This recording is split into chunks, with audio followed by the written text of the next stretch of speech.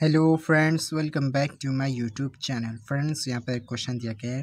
To के power minus X equal to three के power X plus two हमें X का वैल्यू फाइंड करना है. तो चलिए वीडियो को स्टार्ट करते हैं.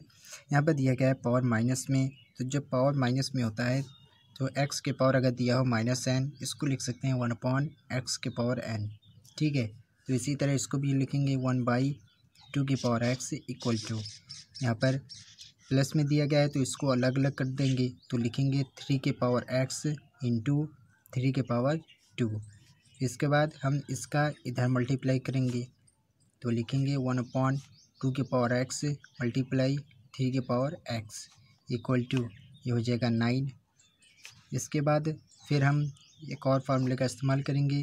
तो यहाँ पर हो जाएगा two into three two into three और होल पावर हो जाएगा एक्स इक्वल टू नाइन।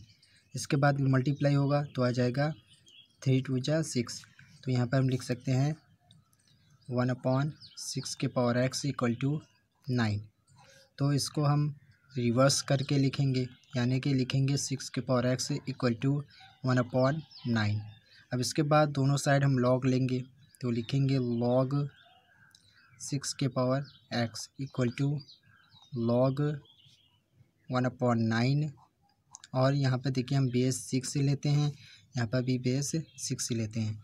तो एक्स इधर आ जाएगा, इसके बाद एक्स और देखिए इसका वैल्यू होगा वन, इसको हम लिख देते हैं log six base to six equal to log one upon nine base to six. इसके बाद देखिए इसका वैल्यू वन हो जाएगा, यहाँ पर एक्स बचेगा सिर्फ़। तो यहाँ पर हम लिख सकते हैं X equal to log one upon nine base to six. तो यही हमारा राइट आंसर है।